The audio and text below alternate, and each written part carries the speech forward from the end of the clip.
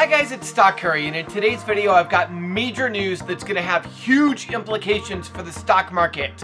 We're also going to go over some short squeeze plays including AMC, GME, and MULN. So let's get into it! Okay, first up, the bond market is flashing a warning sign for a recession that may be coming soon. The reason is because of this thing called an inverted yield curve. When the two-year versus 10-year yield curve inverts, going all the way back to 1955, that has 100% of the time been an indicator that a recession is coming sometime in the next 7 to 18 months. Now, in this particular case, the two-year and 10-year yield curve is not inverted yet, but something else has. The 5-year and 30-year Treasury yields inverted for the first time since 2006. That's right, it is the first inversion since the 2008 financial crisis. This is a major warning sign for the stock market. But don't worry, it's not all bad news yet. I'm going to explain in just a minute. But first, let's take a look at that critical 2-year and 10-year yield curve. The two-year and 10-year yield curve has not yet inverted. An inversion is whenever the yield curve drops below zero. Now, it did hit the lowest level in years today at 0.11, but it has not yet dropped below zero. It is not yet inverted. As I've been saying for weeks now, this should invert sometime in the first week of April, and it is on track to do that. Now, when it does invert, that means that a recession will come sometime between, generally speaking, about the end of this year to the end of next year. So we're going to have to keep our eyes on this. I've been predicting somewhere between April and October of 2023 for a recession, uh, but it may come a little bit sooner than that. We'll just have to keep our eyes on it. Now, why do I say this is actually not bad news for the stock market yet? I mean, a recession sounds pretty bad, right? And yeah, it is. But here's the funny thing about the way the stock market reacts to recessions. First of all, we're not even going to know that we're in a recession until we've already been in one for six months. And the reason for that is because the way a recession is defined. A recession is defined as two quarters in a row of negative GDP growth. Now, a quarter is every three months, so two quarters would be six months. So we actually have to be in a recession for six months before we even know that we're in a recession. Now, here's what's interesting about that. Generally speaking, the Federal Reserve will continue to raise interest rates until we know that we're in a recession which means the Federal Reserve will most likely raise interest rates until we're about six months into a recession and we get the official recession data. Now, when that happens, the Federal Reserve almost always will immediately stop raising interest rates and they'll actually start lowering interest rates. When that happens, the stock market will react very favorably. So what does this mean? It means that we will probably see some downward pressure on the stock market overall, at least until we are officially in a recession. That is, when we've been in a recession for six months. So the moment that we immediately know we're in a recession, the stock market will immediately stop falling. It will immediately turn around and start going back up because that's the point at which the Fed will say, oops, we are in trouble here. The Fed will immediately stop raising interest rates and they'll revert and they'll start lowering interest rates once again. So, whenever the six month point of the recession happens, whether it happens towards the end of 2023, beginning of 2024, whenever that point happens, that is where the stock market will bottom out and start going back up. Now, why do I say this is not bad news yet? Well, the reason is because even though a recession happens 100% of the time after the yield curve inverts. It takes time, right? It takes anywhere from, you know, 7 to you know, 18 months before the recession actually starts. So the important thing to look at here is that it's going to be a while. And while we wait, the stock market could very well go up. In fact, there have been a number of times in prior uh, points where the yield curve inverted where the stock market actually rose to new all-time highs before we actually entered a recession. Now, I don't think we're going to get to new all-time highs yet. I think there's plenty of downward pressure to push the stock market down. Uh, right now, the stock market looks like it's a little bit overbought. But since we did just jump above the 50% Fibonacci retracement level, I do think we're going to get up to the 61 61.8% Fibonacci retracement level. And that key 61.8% Fibonacci retracement level is where pretty much all retracements get up to, where they just hit a hard stop and then they start going back down. Now, if we look at QQQ, that level is $371. So my prediction now is going to be that the NASDAQ will probably rise up to $371 before topping out and then going back down. So that's my prediction. That's where I think we're going to be. Um, I did open up another trade in the uh, VIP Discord today. I also alerted on Twitter that I did open up a position that will make money if the QQQ, that is a NASDAQ 100 ETF, rises up to $371 this week. Actually, it'll make money even if we rise up a little bit. It just got to get above $366 for me to make money. I'll double my money if the NASDAQ gets or the QQQ gets above $366 this week. I'll double my money. So I actually alerted that in the VIP Discord. By the way, guys, if you want to know everything I buy and sell, I post all of my trades before they're filled, even when I'm just thinking about placing the orders in the VIP Discord. If you guys want to sign up, you can sign up at stockcurry.vip slash getvip. Okay, the next thing I want to talk about is the U.S. 10-year Treasury. Let's see where that's at today. And we can see that as of the recording of this video, it is at 2.453%. Now, it did actually rise above 2.5% earlier today. 2.5% is a pretty significant level, although a lot of people think we're going to hit 3% very quickly here. And just taking a quick look at oil, oil was down about another 2% on Monday. Uh, got down to about a, just under $111. So oil is now falling a little bit, so that's another good sign for the stock market as well. And as oil prices continue to fall, that could push the stock market up. All right, now let's talk about some short squeeze potential stocks, including AMC, GME, and MULN. We're going to take a look at Ortex. We're going to see where the short interest currently is. We're going to take a look at utilization, and I'll explain all that in just a minute here. And so let's go ahead and get into those right now.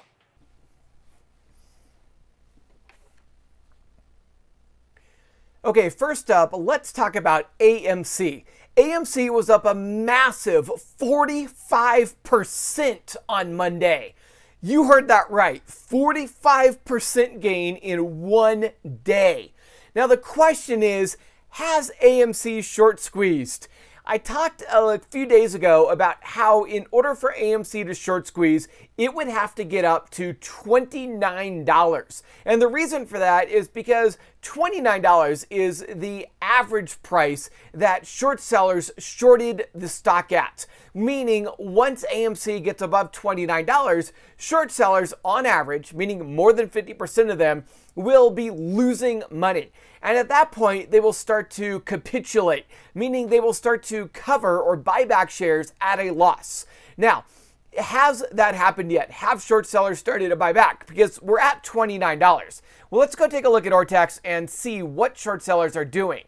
Now, the key metric that we're going to be taking a look at here is not the short interest percent of free float, what's normally known as this 20, 21% short interest. Believe it or not, that really doesn't matter. This is not a very important number. We're also not going to take a look at the free float percent on loan because, again, that doesn't really matter either. What matters is this number over here, this utilization utilization is at 100%.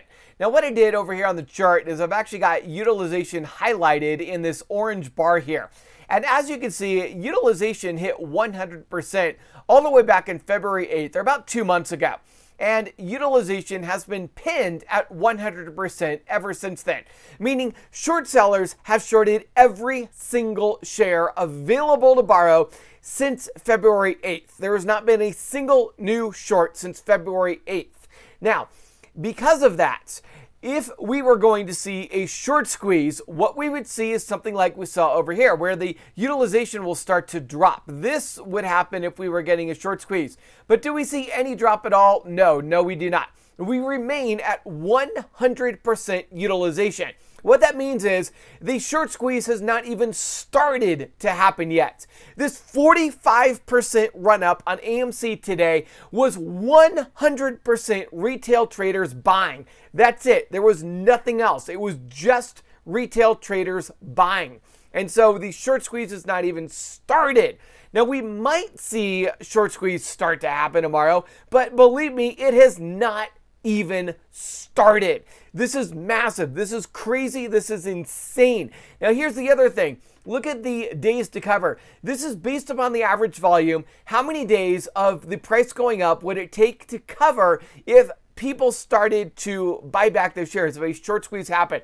It means a short squeeze would take, on average, three days. So if AMC were to go up 50% for the next three days, let's go take a look at the price and see what would happen.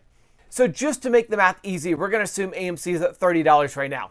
So a 50% gain on Tuesday would put us at $45. Another 50% gain on Wednesday would put us at $67.50, and another 50% gain on Thursday would put us at $101.25. So if AMC were to short squeeze and it were to go up 50% for the next three days, again, three days to cover, AMC would hit $101.25.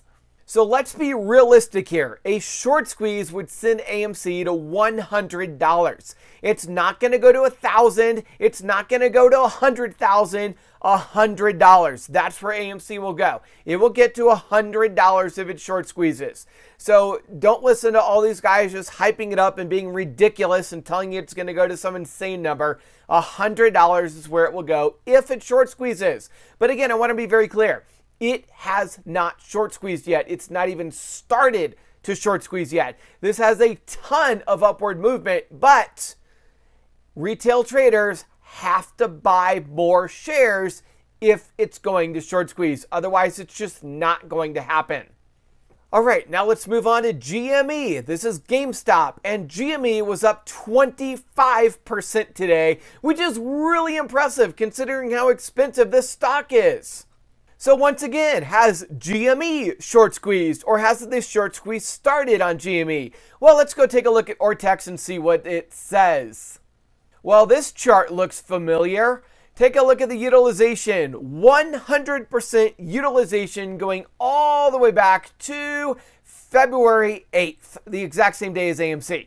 So, has GME short squeezed? No. Shorts maxed out their short positions back two months ago, and they have not covered a single share. This is not short squeeze. It's not even close to short squeezing. But if GME can continue to rise in price, then yes, it will short squeeze. But has it started yet? Nope, not at all. Not even close. Now take a look at this. The days to cover on GME are just under six. We'll just call it six days to cover. Now, based upon a 25% per day gain, let's see what would happen of six days of 25% gains. Let's go pull up our calculator again. All right, to make the math easy, we're going to assume the GameStop's at $190. So 190, we're going to do six days of 25% uh, gains. So 190, let's go Tuesday, we're at that.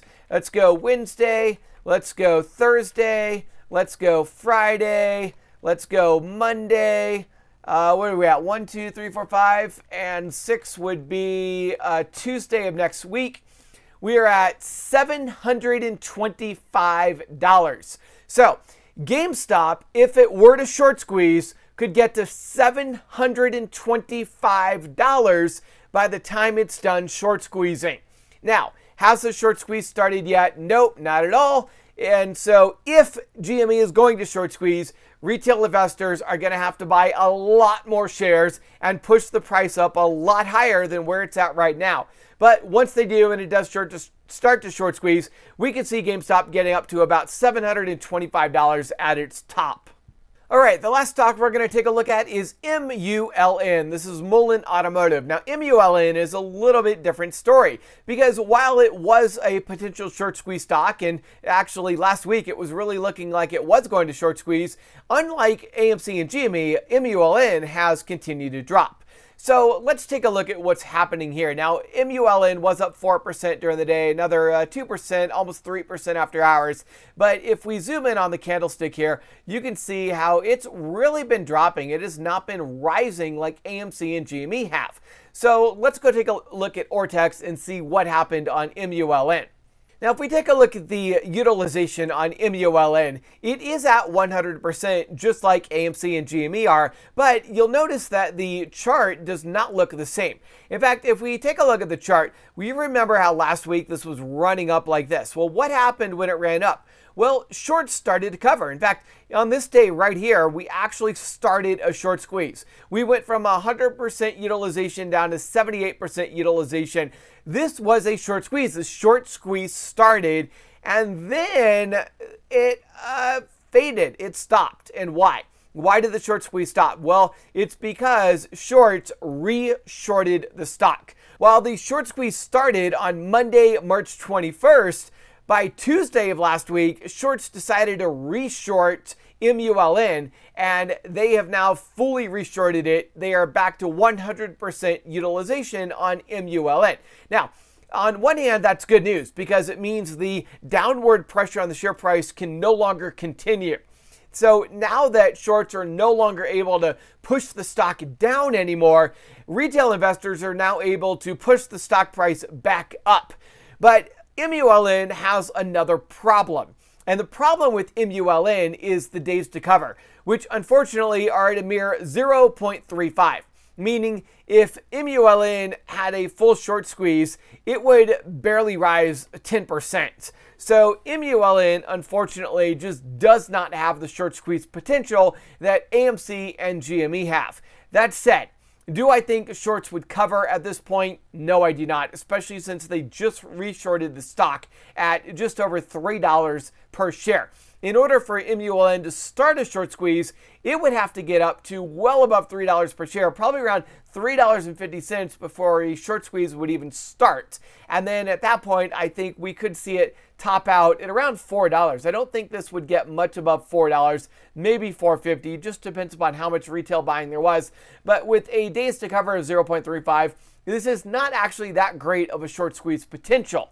AMC and GME are far better short squeeze potentials than MULN is.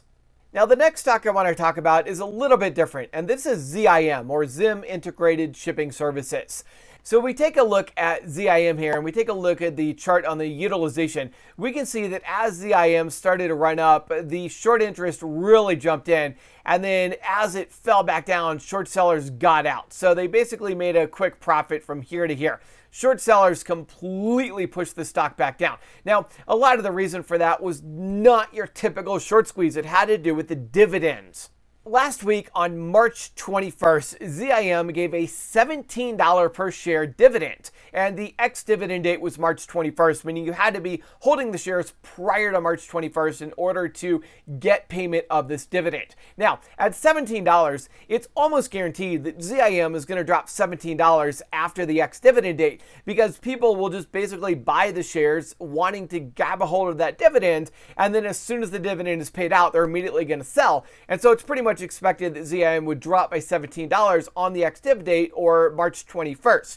And so short sellers will actually take advantage of that. They will short the shares uh, going into March 21st. And then on March 21st, when the stock drops, they will cover their shares and get out. So, not your typical short squeeze. It actually had everything to do with the dividend and short sellers jumping in in order to make a big profit on the downfall of the stock price as it fell on the ex div date. And of course, we saw that here, where ZIM ran up going into that massive dividend, and it closed here on March 21st at $88, and the very next day, it opened at $74. Now, if you do that math, 88 minus 74, it's a $14 difference. Not quite $17, but pretty close. So short sellers were shorting the stock up in here, getting ready for a massive drop uh, ex-div, and the stock dropped $14 or about 20%. So short sellers who shorted here made about a 20% profit after the ex-div date on ZIM. So that's all that was. It was just a quick profit. Now, uh, last week, I actually covered ZIM, and I said ZIM would have a buy under price of $70 with an ideal buying price of $65. Now, we didn't quite get down to that $65 level, but we did drop below 70 and a few people in the VIP Discord, I alerted that it was below the buy under price and it would be a good time to buy in. And quite a few people did. And I'm sure they're pretty happy because ZIM was up 5% today. And it continues to rise. And I think it will continue to rise. And let me go over to TipRanks and show you what TipRanks uh, analysts have to say about where they see ZIM going over the next year or so. So if we take a look at TipRanks, the average analyst one-year price target is $100, which is a 38% upside from Monday's closing price. If you imagine in a bear market making a 38% profit, I mean, that's just incredible. So in my mind, ZIM is a buy. And I think these price target, the average price target of around $100 is actually probably pretty accurate. Now, regarding the dividend, the big question here is will ZIM continue to pay out a $17 dividend every quarter? Because, I mean, let's face it, a 31% dividend yield is really impressive. I don't know of any stocks that pay a 31% dividend yield outside of ZIM. Now, here's the beautiful thing about TipRanks is on TipRanks, you can go over to the dividends tab here, and you can actually see the payout ratio, and you'll see it's 55.04%, meaning on average, ZIM does not pay out quarterly, they pay out semi-annually. So the point here is that on average, you can expect to get this $17 dividend twice a year. Now, $34 a year is really, really impressive on a stock that's currently trading at $75. I mean, that's almost 50%. So would I be buying uh, ZIM? Absolutely. If nothing else, for the massive dividend yields and on top of that, the stock is bullish with a $100 one year price target for another 38% upside potential. So, between the dividend and the upside potential, you could potentially make a 50% profit on ZIM this year even though we're in a bear market. So ZIM is a huge buy in my mind. By the way, if you want access to all of these analyst rankings that TipRanks offers and the dividend information and all the other tools they have, the stock analysis, the insider trading, the news sentiment, the crowd wisdom, earnings, all this stuff, TipRanks is currently offering a special. They are having their largest sale ever this week. It's 30% off. So if you want to take advantage of that and sign up for TipRanks, it's 30% off, but it's only good through the end of this month. If you're interested in that, I do have a link for that 30% off discount coupon code in the description of this video. Alright, I hope you enjoyed today's video and got a lot out of it. Comment down below what you're buying on Tuesday.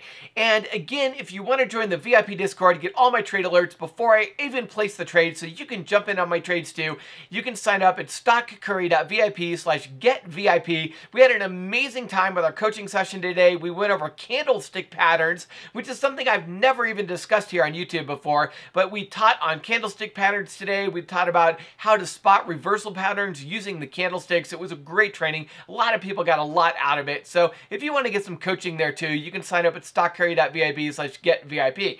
All right. I also wanted to let you know that if you signed up for that Webull promotion where you get five free stocks worth up to $9,600, don't forget you have to deposit at least $1 before the end of this month. If you don't deposit at least $1 before the end of this month, you will not get your free stocks. Now, if you haven't signed up yet, you might have enough time if you sign up right now to use my link in the description below, sign up for Webull, and you'll get five free stocks worth up to $9,600. But again, you got to sign up using my link below, and you've got to deposit at least $1 before the end of this month. Otherwise, you will miss out.